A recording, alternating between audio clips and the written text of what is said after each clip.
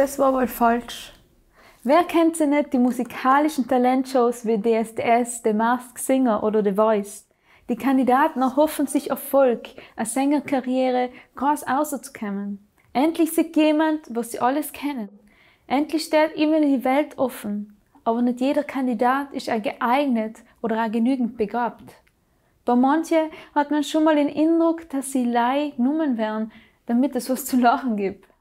Viele schräge Tönen, lei wegen die Inschaltquoten.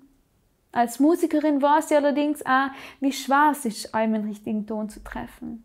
Oder noch besser formuliert, den Ton einem richtig zu treffen. Keiner ist perfekt und so passiert halt deine besten Musiker einmal nicht genug konzentriert, kurz angelenkt oder eine schlechte Tagesverfassung und schon ist es passiert. Man hat den Ton nicht richtig getroffen. Als Musikerin weiß ich, wie schwer das ist, wie viele Stunden Übung dahinter stecken und echt ist man nie an einem Punkt, an dem man sagen kann, man ist jetzt perfekt. Aber als Musikerin möchte ich perfekt sein und allem die richtigen Töne spielen oder singen und das maximale Gefühl in die Musik legen. Aber wir seien eben alle nicht perfekt. Es wird allerdings vom Musiker in Konzerten erwartet und selber zeigen einen immens hohen Druck. Manche Musiker kommen damit auf Dauer nicht zurecht. Allem wieder hört man von Musikern, die aus seinem Grund anfangen, Alkohol oder Drogen zu nehmen, um eben mit seinem Druck fertig zu werden. Mir hilft zu wissen, dass ich mein Bestes gebe, aber nicht für die Menschen, sondern für Gott. Wieso? Weil ich weiß, dass ich für Menschen nie perfekt durchstehen werde. Ich werde nie alle menschlichen Maßstäbe erreichen. Aber Gottes nicht durch das Halten von allen Gesetzen, nein. Weil selber in ihr schaffen, wie ja nicht schafft, jeden Ton richtig zu treffen. Aber durch ihn Glauben. Wir werden von Gott gerecht gesprochen, indem wir an Jesus Christus glauben.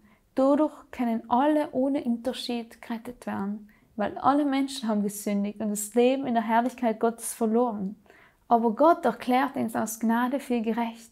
Es ist ein Geschenk, an uns durch Jesus Christus, der uns von unserer Schuld befreit hat. Gott sieht mein Herz, auch wenn ich mal nicht den richtigen Ton triff, auch wenn ich mal was Falsches tue. Gott freut, wenn ich mit dankbaren Herzen, mit Freude spiele und Gott lob. Er hat mir Begabung geschenkt und das ist jedem Menschen auf eine ganz unterschiedliche Art und Weise begabt. Entscheidend ist nicht mein Maßstab, auch nicht der von anderen Menschen. Nein, entscheidend ist Gottes Maßstab. Bei ihm müssen wir nicht perfekt sein. Paulus schreibt, die jetzt enke Arbeit mit Eifer und mit Freude, als dass es Gott dienen und nicht in Menschen. Gott schaut eben auf unser Herz, auf unsere Einstellung, ob wir noch ihm suchen oder ob wir glauben, wir brauchen ihn nicht. Und so weiß ich, dass ich zu Jesus allem so kommen darf, wie ich bin. Gottes Arme seien offen für mich, wie sie ja offen sein für die. Er trifft für die allem den richtigen Ton, weil er ganz genau weiß, was du im Moment brauchst. Probier es nicht einfach selber. Sprich mit deinen eigenen Worten ein einfaches Gebet. Schau und beobachte, wie Gott dir antwortet. Durch die Bibel kannst du Gottes Wesen, wie er handelt, Unmenge von Geschichten und spannende, tiefe geistige Prinzipien kennenlernen. Melde dich bei uns unter info at myinput.it, wenn du gerne eine Bibel von uns gratis zugeschickt kriegen darfst. Wir freuen uns, von dir zu hören und auf dein Like.